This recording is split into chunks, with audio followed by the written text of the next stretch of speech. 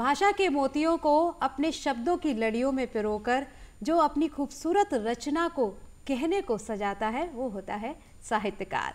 नमस्कार दर्शकों, ग्वालियर डायरी में आप सभी का स्वागत है और मैं हूँ आपके साथ श्रेया।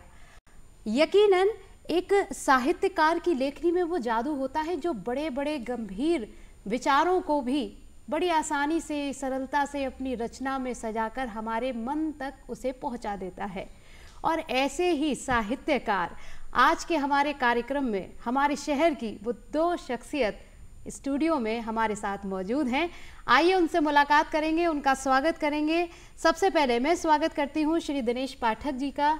सर, आप एक ऐसे साहित्यकार हैं जिन्होंने चाहे कोई भी पत्र हो, पत्रिका हो, टीवी हो, रेडियो हो, चैनल्स हो संस्कृति हो, कला हो इतिहास हो हर एक विषय पर अपनी लेखनी चलाई है। यही कारण रहा शायद इसी वजह से चाहे वो आपका विष्णु प्रभाकर सम्मान हो या फिर शब्द शिल्पी सम्मान आप इनसे सम्मानित हो चुके हैं।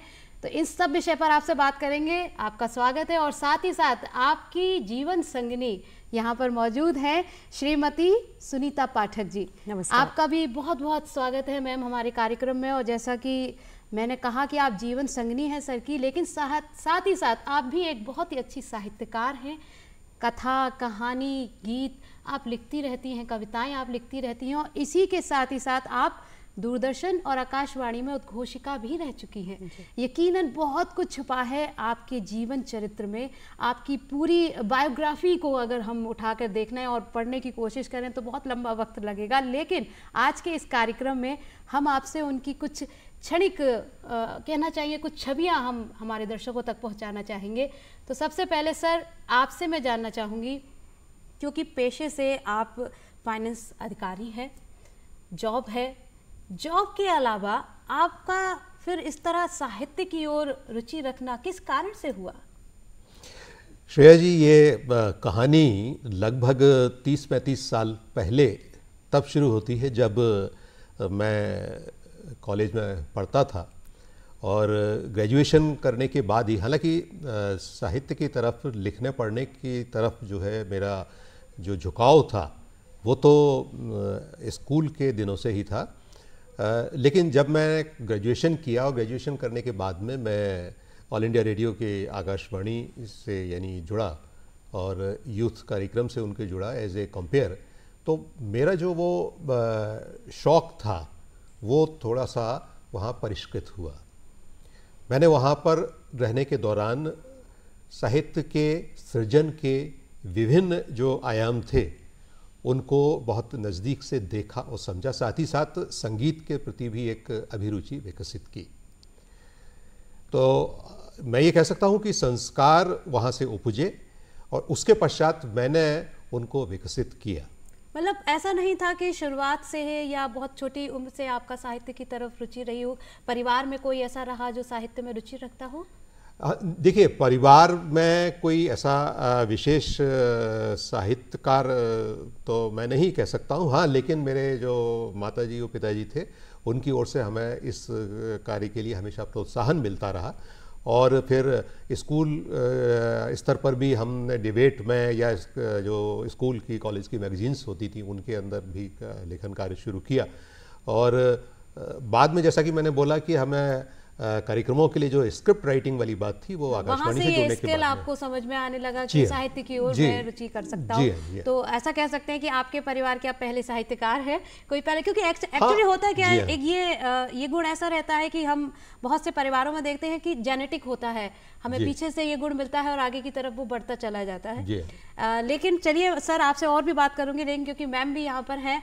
और मैम आप भी एक साहित्यकार हैं। जी। आ, लेकिन आप उद्घोषिका भी है। तो पहले उद्घोषिका थी फिर साहित्यकार साहित्य की ओर रुख हुआ या साहित्य में बहुत अच्छी रुचि थी अच्छा लिख लेती इसलिए अच्छा बोल पाती थी?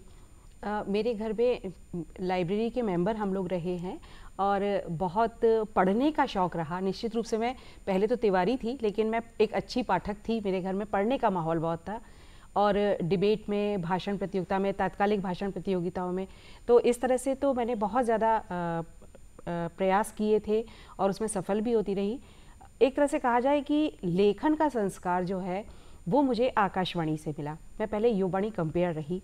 तो जब उसमें किसी भी विषय पर, गूढ़ विषय पर जब चर्चा करने के लिए बोला जाता है तो उसे रुचिकर बनाने का जो प्रयास हमने किया उस समय में तो वो मुझे बहुत लाभदायक रहा।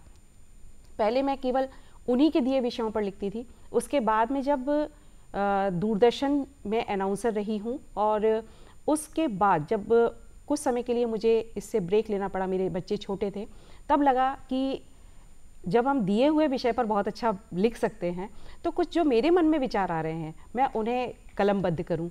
और जब कहानियों की शुरुआत मैंने की, छोटी कहानियाँ थी, बड़ी कहानियाँ थी, उन्हें अच्छी अच्छी पत्रिकाओं में जब स्थान मिला और अच्छे पाठकों के प्रशंसा भी मिली तो प्रोत्साहन भी मिला तो लगा कि मैं सही दिशा में जा रही हूँ। तो मैंने फिर अपना रुख कहानी की तरफ़ कर लिया।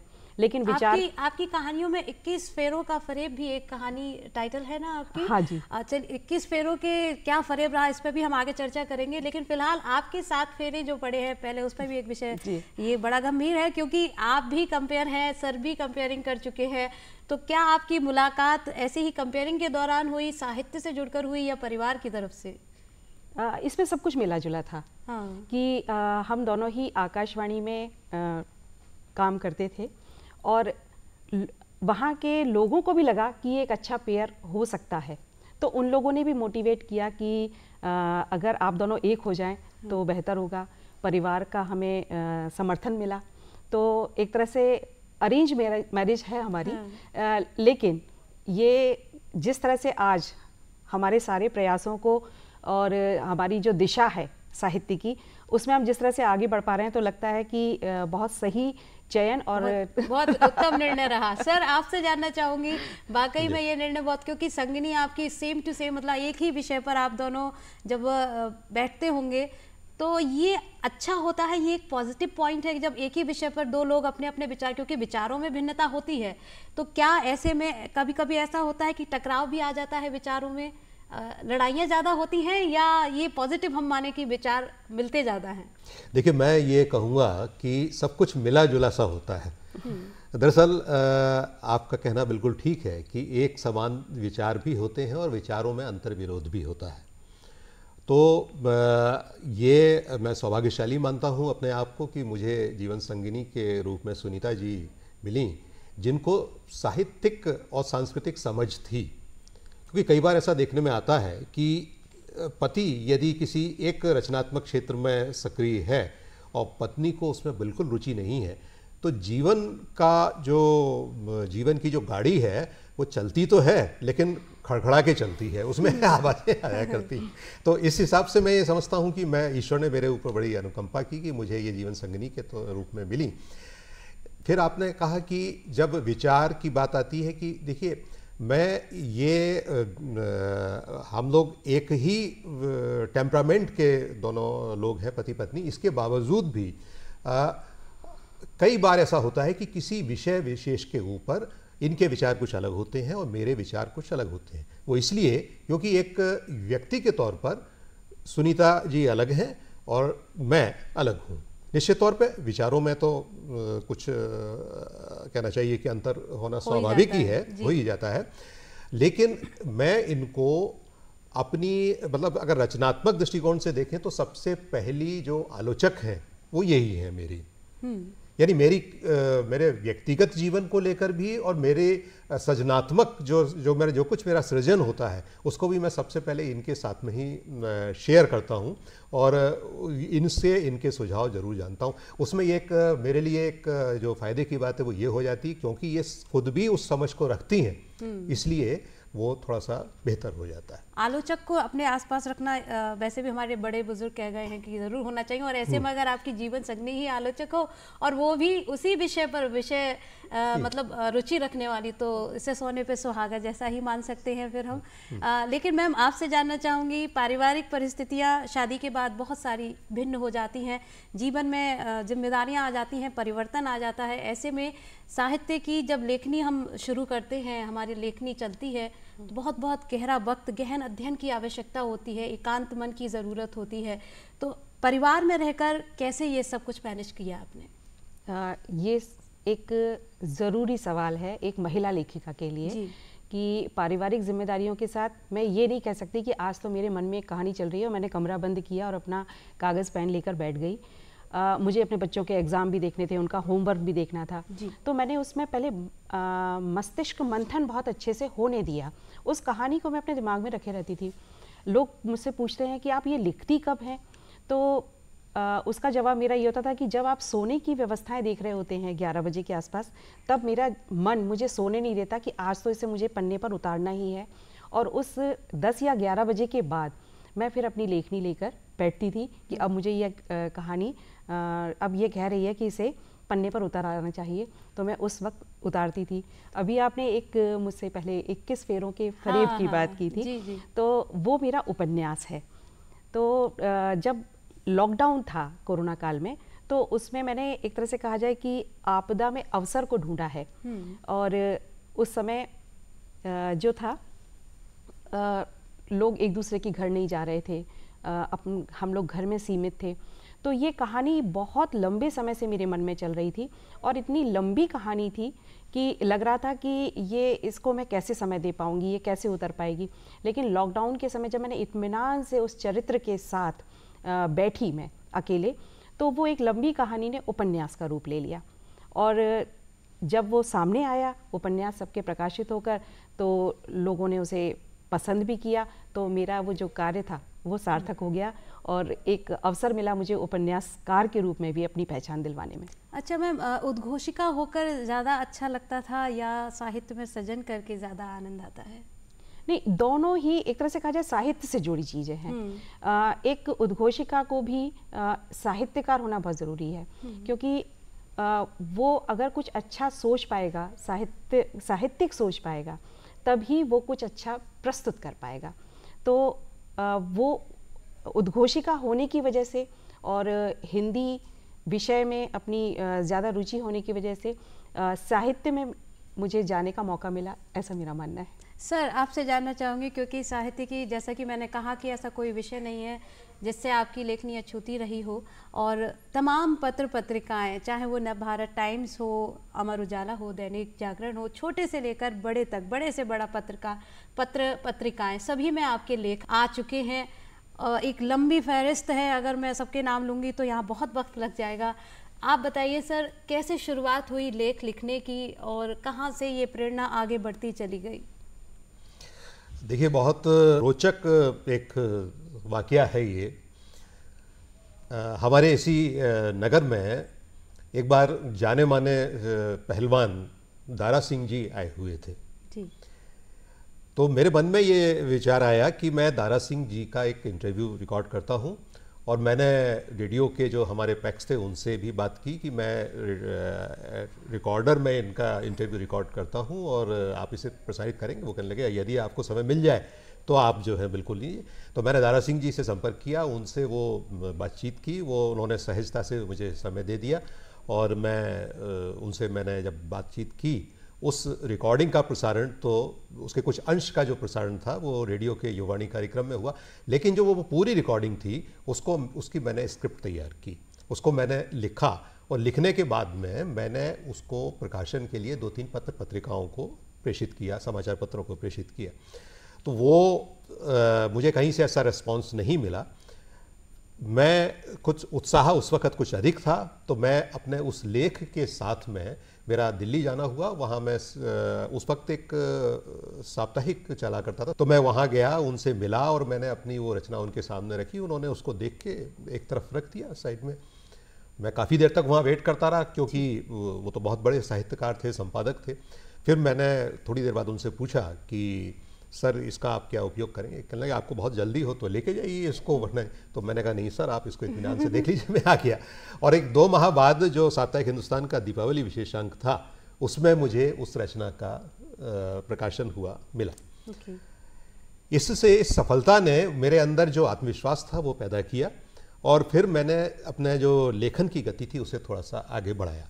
ये तो शुरुआत मतलब हुई लेकिन क्योंकि मेरी शुरुआत एक इंटरव्यू से हुई थी तो मैंने अपने लेखन कार्य, हालाँकि विविध विषयों पे मैंने किया है फीचर राइटिंग में बहुत कुछ लिखा है और यह, लेकिन जो साक्षात्कार का जो क्षेत्र है उसमें मैंने एक तरह से बहुत अधिक काम किया है और आप कह सकते हैं कि विशेषज्ञता भी हासिल की है। बिल्कुल मैं जैसा कि देख पा रही हूँ हम्म। ऐसा कोई नाम मेरे ख्याल से आपकी साक्षात्कार की जो लिस्ट है इतनी लंबी कुछ नहीं छूटा है। चाहे वो हमारे भारत रत्न पंडित रविशंकर जी हों माधवराव सिंधिया जी हों हरि प्रसाद चौरसिया हो अमजद अली खां। इसमें नाम उस्ताद जाकिर हुसैन का भी है जगजीत हम्म। सिंह भी है लता मंगेशकर श्याम बेनेगर राजेश खन्ना। ऐसा कोई नहीं है शायद जिसके साक्षात्कार आपने नहीं किया है। मैं आपने आपने लता जी का ज़िक्र किया तो मैं आपको ये बहुत रोचक बात बताना चाहूँगा कि ये कोइंसिडेंस था कि मैं पंडित रविशंकर के ऊपर जो पुस्तक लिख रहा था क्योंकि पंडित जी को मैंने तीन बार इंटरव्यू किया हुआ था उस पर आधारित वो पुस्तक थी उस पुस्तक के सिलसिले में मैंने मन में ये सोचा कि पंडित रविशंकर मशहूर सितार वादक जो थे वो भारत रत्न थे और लता जी भी भारत रत्न थी। तो मैंने कहा एक भारत रत्न के विषय में यदि मैं दूसरे भारत रत्न के विचार जाना जाना चाहूँ तो ये बहुत ही उत्तम रहेगा। ये मेरी पुस्तक का बहुत रोचक अंश बन सकता है।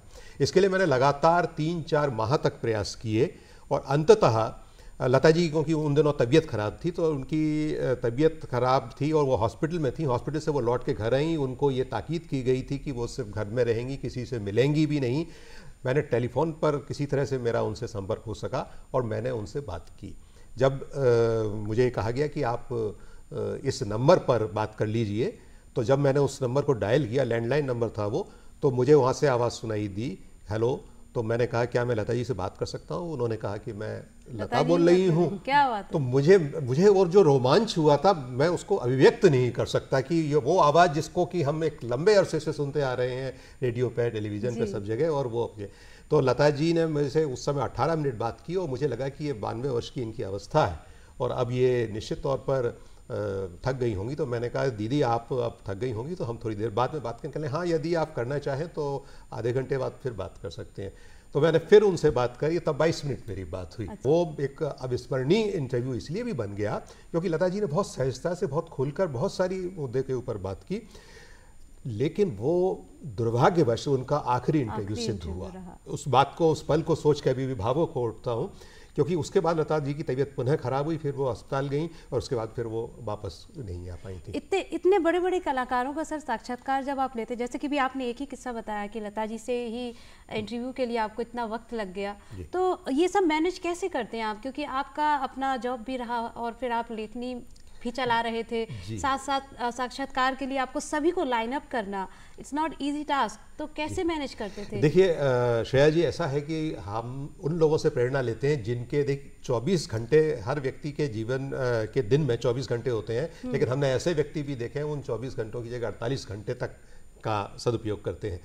तो जैसा सुनीता जी ने भी आपको बताया कि हम अपनी जो हमारी रूटीन है उस रूटीन से हटकर जो जो वक्त हमें मिलता है जिसको कोई व्यक्ति आराम करने में या किसी दूसरे तरह की गतिविधि में निकलता है हम कोशिश करते हैं कि हम उसका सदुपयोग अपने इस शौक को पूरा करने में लगाएँ। आप मतलब अगर मैं ये समझूं कि जैसे आज की जो नव युवा पीढ़ी है अधिकतर समय उसका सोशल मीडिया पर खराब हो रहा है मेरे ख्याल से तो क्या वो वक्त अगर हम सही तरीके से इस्तेमाल किया जाए शायद वही वक्त है जो आपने इस्तेमाल किया है और आज एक अलग मुकाम बना पा रहे हैं जी बिल्कुल। मैं ये कहूँगा और मैं मेरा तो ये भी मानना है कि सोशल मीडिया हो या कोई भी विजुअल मीडिया, अगर आप आधा घंटे, एक घंटे लगातार उसको देखते हैं तो आपकी जो मेंटल क्रिएटिविटी है, वो कहीं ना कहीं अफेक्टेड होती है उससे। तो यदि आप सृजन के क्षेत्र में सक्रिय रहना चाहते हैं तो मेरा ये सुझाव है कि कुछ समय जो है, वो आत्मचिंतन के लिए और शांत मन के लिए भी आवश्यक है। वो आवश्यक है। नई पीढ़ी से भी मैं यही कहना चाहूँगा कि वो सोशल मीडिया ठीक है अपनी जगह काफ़ी कुछ उससे आपको देखने सीखने समझने के लिए भी मिलता है लेकिन इसके बावजूद यदि आपको कुछ रचना है तो आपको स्वयं के ऊपर भी समय खर्च करना खर्च पड़ेगा, करना पड़ेगा। मैम आपसे मैं जानना चाहूँगी जैसे कि आपकी एक उपन्यास के बारे में तो हमने जाना लेकिन के साथ ही पिता के साय में भी आपकी एक कथा कहानी आ चुकी अ, है ये अ, कविता संकलन है जिसमें मेरी कविताएँ हैं। और इससे पहले अ, मेरा कहानी संग्रह जो है वो साहित्य अकादमी तो अधिकतर आप कहानियाँ ज़्यादा लिखती हैं या कविताएँ ज़्यादा आपकी आती मैं कहानी पर काम करना पसंद करती हूँ। और मन में लेकिन हाँ कविताएँ भी चली हैं तो वो भी पन्ने पे उतरी तो हैं। साथ ही साथ कई सम्मान भी आप पा चुकी हैं। कैसा लगता है जब साहित्य को लेकर आपको सम्मानित किया जाता है? अ, ये अ, प्रेरक होते हैं हमारे लिए ऊर्जा से भर देते हैं कि रुकना नहीं है देखिए काम किया था तो उसे सम्मान भी हासिल हुआ। निश्चित रूप से ये ऊर्जा हमें और आगे काम करने के लिए प्रेरित करती है। तो इसमें मुझे काशीबाई मेहता सम्मान मध्य प्रदेश लेखक संघ का मिल चुका है। और अभी कोतही सम्मान भी आपको हाँ, प्राप्त हुआ किस्सा है। कोताहा वो किस वो किस किस लिए होता है और क्या कारण है? ये अ, मेरी कृति 21 फेरों के फरेब इसके लिए मुझे सम्मान मिला था। अ, इसको काफ़ी लोगों ने पसंद भी किया मेरे इस उपन्यास को। और अभी एक कॉर्नर वाले अंकल जी एक कहानी संग्रह मेरा दो साल पहले आया था। और एक खंड काव्य आ रहा है मेरा जिसे मैं अपना मतलब अपने समाज के प्रति अपनी ज़िम्मेदारी मानकर इस खंड काव्य को मैंने लिखा है। उसमें एक माँ की वेदना भी है और माँ की प्रेरणा भी है जिसके बेटे ने आत्महत्या की है। और वो इस वेदना के साथ में ये कहना चाह रही है कि आगे और बच्चे ऐसा नहीं करें तो वो उनके बीच में कि जो गलती शायद एक संवाद की कमी मेरी अपने बेटे के साथ रह गई कहीं तो वो कमी अब और माँ अपने बच्चों के साथ नहीं करें और युवाओं को प्रेरित कर रहे हैं, कर रही है वो कविताओं में वो माँ कि जब भी कभी घबरा जाओ तो अपनी बात माँ से तो कहो और एक बार उस समय सोचो कि रुकना है, रुकना कहाँ है? आत्महत्या करने से रुकना है और आगे कहाँ बढ़ना है कि एक प्रयास और करना है। तो ये कविता मैं समझती हूँ कि आज के युवाओं के लिए एक संदेश है जो हम अक्सर देखते हैं कि बच्चे गलती कर जाते हैं डर के मारे कि कोई डर है कोई अवसाद है। तो अगर इस अवसाद से इस कविता को पढ़कर कुछ बच्चे रुक पाते हैं तो मुझे खुशी होगी कि मैंने कुछ समाज के लिए किया। अ, साथ ही सर आपसे भी जानना चाहेंगे कि क्या करें जो युवक हैं। साहित्य की ओर बढ़ना चाहते देखिए जैसा सुनीता जी ने बोला कि सबसे पहला जो बिंदु है वो है ऑब्जर्वेशन और ऑब्जर्वेशन के साथ ही साथ में यदि आप पढ़ने का शौक रखते हैं तो वो बहुत अच्छा है। हमारे आसपास की गतिविधियाँ, हमारे आसपास का माहौल, इस सबको देखिए, समझिए और जितना हो सके उतना अच्छा साहित्य, अच्छी जानकारियाँ, ये सब जो है पढ़ें और फिर धीरे धीरे लिखने का प्रयास भी करें। तो निश्चित तौर पर आगे सफलता मिलेगी। सकते हैं। बहुत बहुत शुक्रिया सर। यहाँ आने के लिए अपना वक्त देने के लिए आपका बहुत बहुत धन्यवाद। तो जैसा कि दर्शकों आज के कार्यक्रम में आपने जाना कि खास तौर से जब हमने ये समझा कि एक ही क्षेत्र के जब दो पहिए एक साथ जुड़ जाते हैं तो गाड़ी बहुत अच्छी चलती है और साथ ही आपस में सहयोग मिलता है। साहित्य की दिशा में यदि आप बढ़ने की बात सोच रहे हैं तो उस ओर भी बढ़ लीजिए। मत सोचिए कि इधर उधर क्या हो रहा है, घर की जिम्मेदारियाँ किस तरह निभाई जाएँगी। जैसा कि मैम ने आज समझाया कि पढ़िए, समझिए और अपनी लेखनी को उठाइए, अपने मन में जो विचार आपके आ रहे हैं, बस लिख दीजिए। हो सकता है हु नेवर नो कि कल क्या हो क्या पता आपकी कला भी दुनिया के सामने पहुँच जाए। आशा करती हूँ आज का ये कार्यक्रम आपको पसंद आया होगा, लेकिन फ़िलहाल वक्त जाने का है एक और नए कार्यक्रम के साथ आपसे मुलाकात करने। मैं श्रेया जल लौटूँगी, तब तक के लिए आज्ञा दीजिए। नमस्कार।